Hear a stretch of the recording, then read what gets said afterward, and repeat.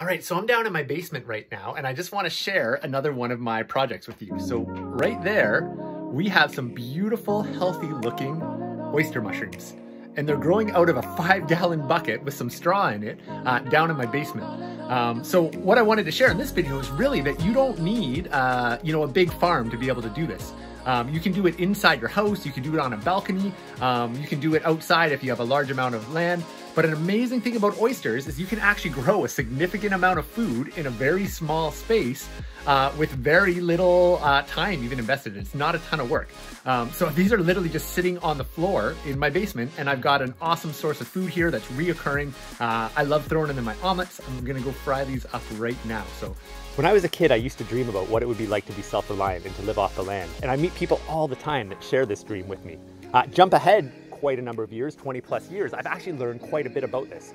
And this video series is sharing some of the things I've learned over the years about being more self-reliant. So how do you actually make this a reality? That's what we're gonna talk about right now. And that's learning how to grow mushrooms.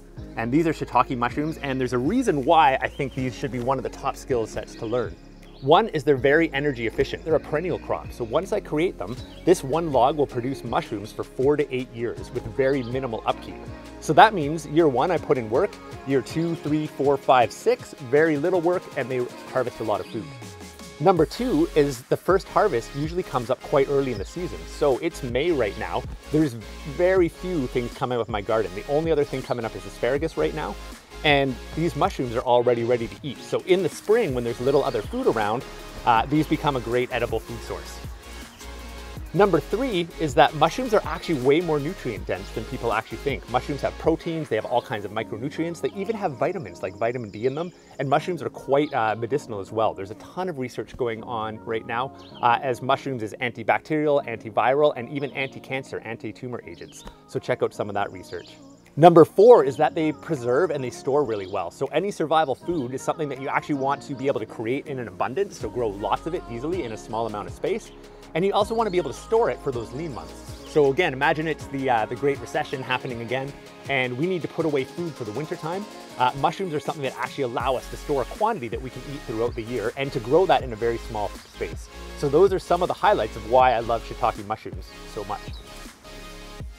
Check out this log right here and how much is actually coming off that one tiny little log. So let's get into how to actually grow these.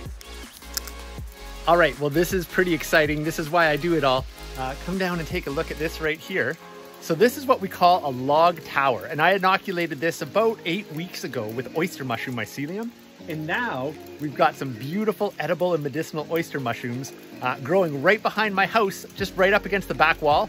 What I love about this stacked wall, or sorry, stacked tower technique is one, it's really quick to produce a lot of mushrooms. Two, it's very little work uh, to do it. And three, you only need a small space. I mean, you can literally do this on a balcony on uh, in the city or just in any little shady nook behind your house. So uh, yeah, I'm gonna cut these off and throw them in the frying pan to cook up for dinner.